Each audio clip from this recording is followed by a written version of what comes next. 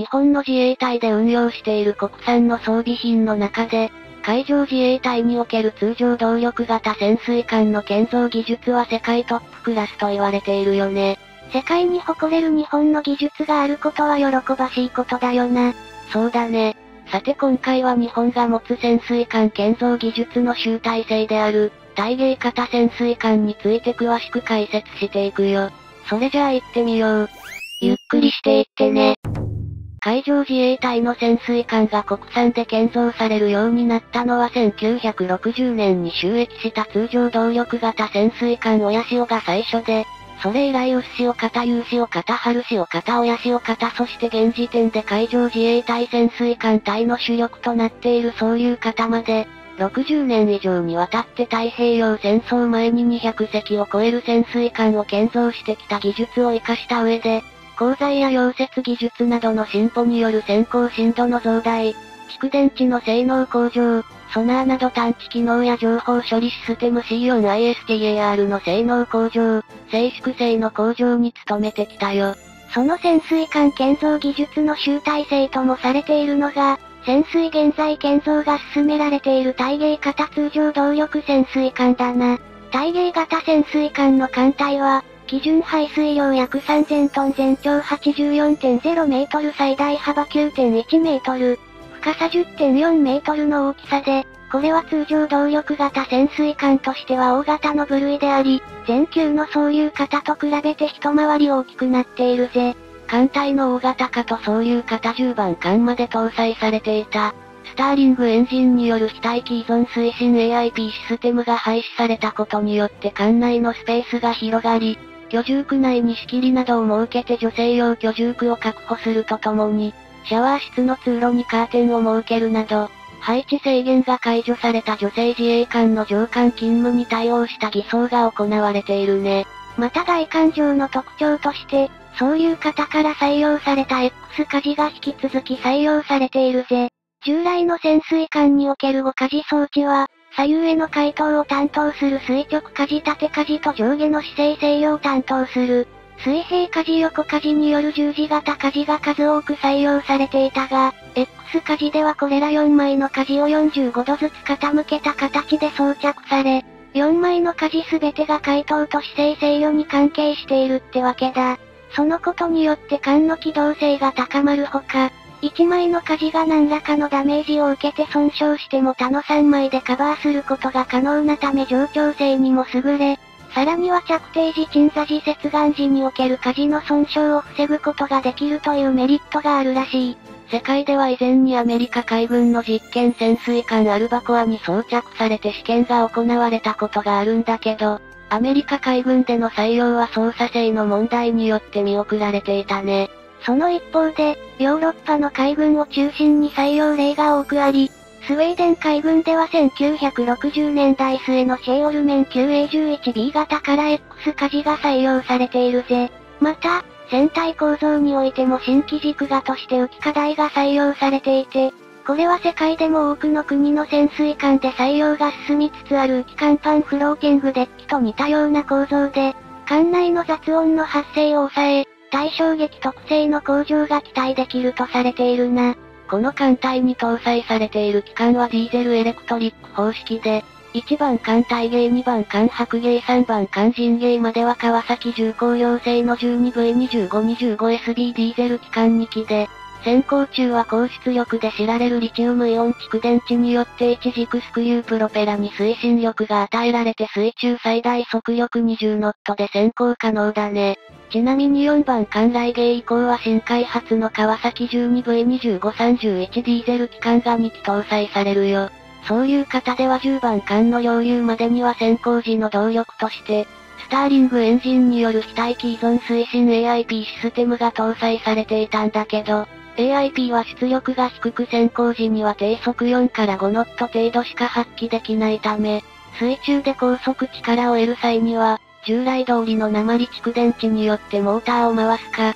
もしくは浮上した上でのディーゼルエレクトリック方式が用いられることになるんだ。防衛省では次世代の潜水艦用蓄電池として、リチウムイオン蓄電池の開発を1997年平9年から取り組んでいて、この蓄電池の利点としては従来の鉛蓄電池と比べて水素ガス発生の危険がないことや、重量容積あたりエネルギー密度が2倍以上になる強力な電池であることと、繰り返し重放電回数も1.5倍長持ちになるなどのほか、満充電までの時間が短く、自然放電による電気容量の低下を抑えられ、効率放電を長時間持続できるなどの多くの優れた特性を持っているね。特に満充電については、鉛蓄電池の場合では発電機の出力に余裕があったとしても低い電流量でしか充電できず、さらに満充電に近くなると少量ずつしか充電できないために、作戦行動中の海域では長時間浮上して満充電することは危険が伴うことからがほとんど不可能であったのに対し、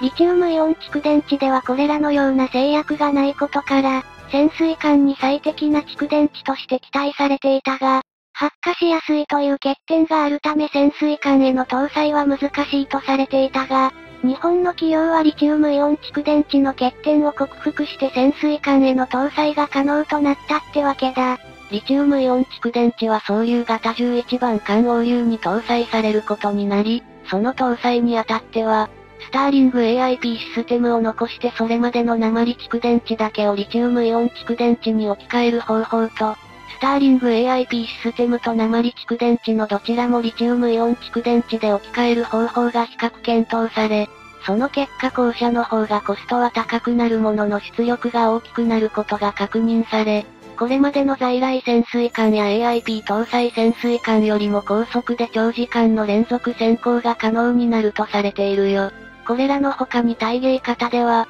光ファイバー技術を用いた新型の高性能ソナーシステムが装備されたことで探知能力が向上し、OIX1 情報処理サブシステム ZQX12 潜水艦戦術状況表示装置、潜水艦情報管理システム機関ネットワークシステムの採用によって C4ISTAR における情報処理能力も向上しているみたい。そして、それら以上に大きな変更点として潜望鏡があるな。潜水艦といえば映画などでよく見かけるのは、艦内の発令所の真ん中に筒型の光学式の貫通式潜望鏡があって、それを上げて艦長などが覗き込んで海上を確認している光景だが、大芸型の発令所ではその光景が見られないぜ。通常、これまでの潜水艦には捜索用と襲撃用の2本の光学式の貫通式潜望鏡が採用されていて、昼間用と夜間用として使い分けられる場合もあるんだよね。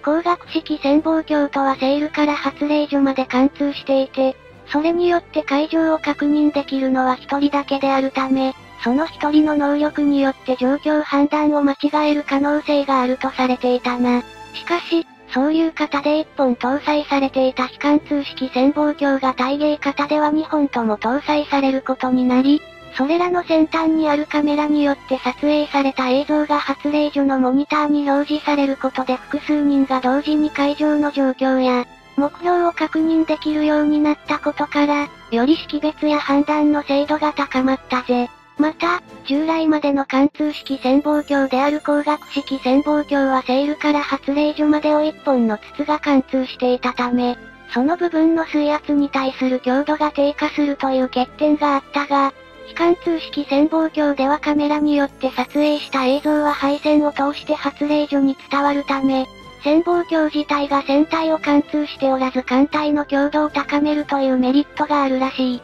加えて、撮影された映像が録画されていることによって後から確認することが可能であるため、撮影後はすぐに潜望鏡を下げて先行することで敵から発見され攻撃を受けることが回避できるみたい。そして、艦首の6門の魚雷発射管からは最新の高性能魚雷である人8式魚雷が発射され、それ以外にも潜水艦発射型対艦ミサイルハープーンブロックに UGM84L も発射可能だぜ。中国との有事が発生し中国海軍と海上自衛隊が対峙する際には、優秀な対芸型通常動力潜水艦が中国海軍の脅威となることが想定され、話題になっている原子力潜水艦の保有よりもその予算を対芸型潜水艦の建造費に充てて、現在の22隻体制からさらに増強すべしとの声が高まっているね。それじゃあ今回はこの辺で、よかったら、チャンネル登録してね。